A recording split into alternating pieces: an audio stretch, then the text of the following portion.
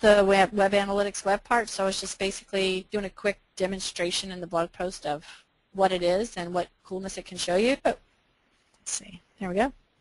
Um, let me go ahead and share, let me share, share my other screen because, um, there, all right. Um, and hope that nobody instant messages me while I'm uh, doing a demo. Okay. Here's the blog on my screen, and I was demoing the, the Web Analytics web part and what it can do, and then I've got a couple of good references in here of other people I know that have written other blog posts about the, the web analytics and what it can do because there's a lot to it other than this just this one little web part. There's all the server-side web analytics stuff and you can, there are also uh, reports that you can have automatically emailed to yourself through these uh, web analytics workflows that exist that Jennifer wrote about. So that's also some coolness. So um, I'll go ahead and flip over to my test site and I, I inserted this web analytics web part on the screen and I'll go ahead and just show you the settings and show you what you can tweak. And, and uh, it, you know, because it's a little misleading because when you see the word web analytics, it doesn't really tell you much. So by default, when you put this web part on the page, it shows you your most viewed content. Now, oh, so I just clicked apply, so I'm waiting a second. So now this is a little messy. So I'll go ahead and uncheck some of these boxes before um, I show you what all those boxes do. So it's a little bit of a messy view because it shows you just a whole big long list of like URLs and partial URLs. So this is the most viewed content, but it's really ugly. So it's just like these are the sites that people have been clicking on the most in your environment. And you can make it show however many items in the list you want to. It's just the most the most clicked on content. So it, the most viewed, viewed content is, you know, it's kind of promising, but it's just not that pretty because it doesn't have the names of things. It just has the URLs. Of course, then if you had a whole bunch of document libraries called shared documents and it put the name on here, then it would just say shared documents, shared documents, shared documents down the page, and that wouldn't be very helpful either. So, um, so it just shows URLs. Um, when you pick the most viewed content, then you have the ability to say, select your scope. So I want to see the most viewed content from this whole site collection, or just this site and the subsites uh, you know below it, or just this one site that I'm on and the list of libraries in it. So that's how you can pick your scope.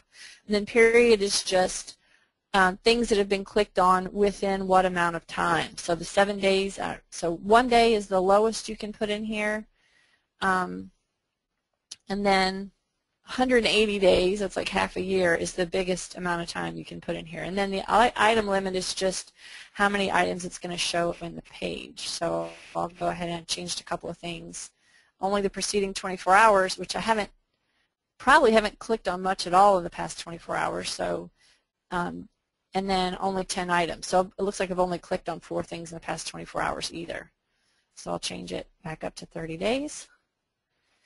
And then, um, Jamise, tell me how much time I have because I'm just going to ramble on.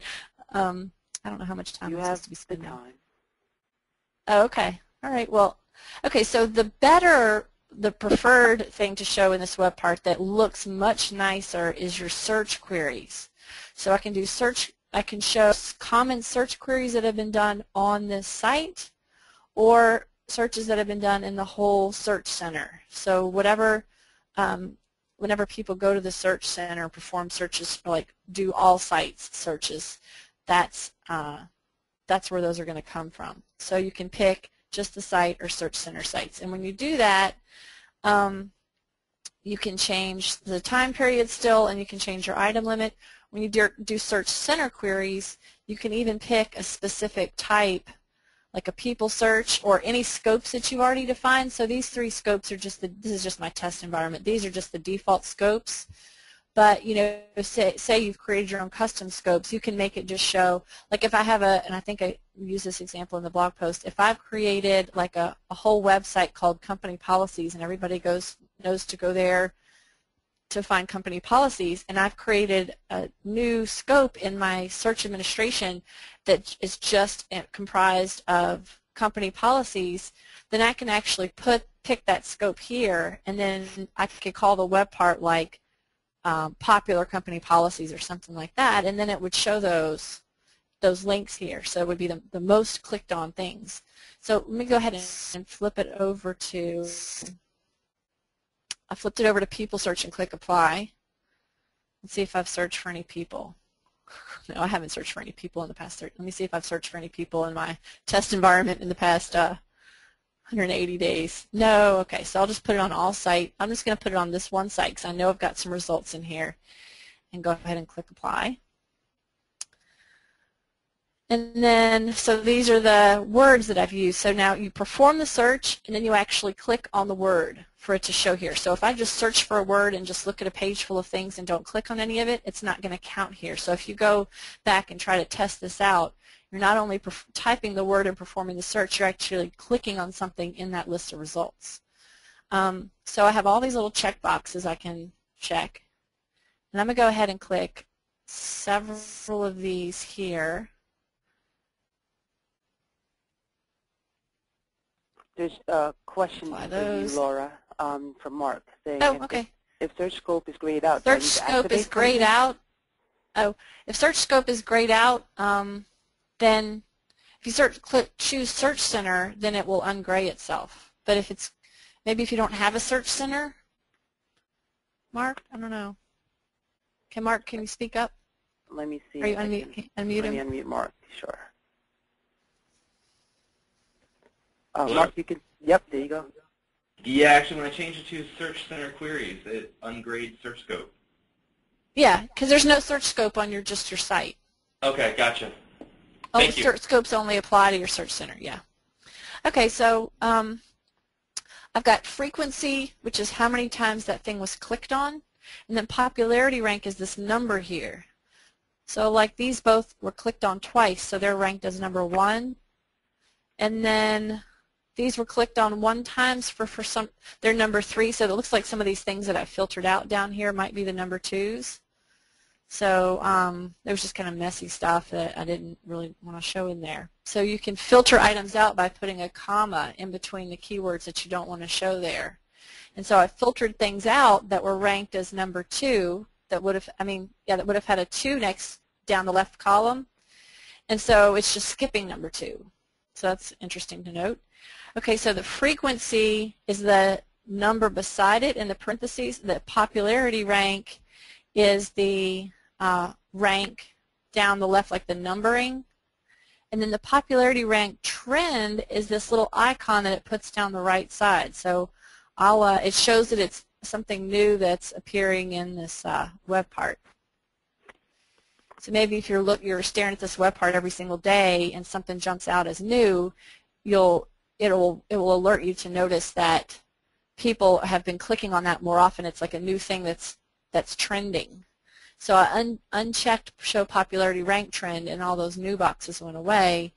And if I check it again, um, it will it will show like a little green arrow going up for things that are increasing in their popularity, and it'll things show the little green new next to things that are new in there. And I believe that it's based on your um, your indexing, like when you do a full index, it appears that it changes everything back to new. Uh, but every time you do an incremental uh, crawl, it, it, it, that's when it looks to see what things are new that are included in this uh, search result. So I, I, I performed a full crawl just I think yesterday, so that's why everything showed as new. So that's interesting to notice too. All right, so user title and user department, I'll go ahead and just check both those. And this is really cool because it lets you basically see who is searching for what. So I'm a consultant. These are some of the job titles that it's pulling from Active Directory from the people who are performing the searches. So if you have an accurate Active Directory with accurate job titles, you can quickly like look to see what people are searching for. I can see that people with the title consultant, which is really just me on this test site, are looking for these things. And if you have a CEO, it would say president, and you'd say, oh, this is what the president's looking for. Huh, I wonder why he's looking for that, you know. so that's where that's where you can filter by job title.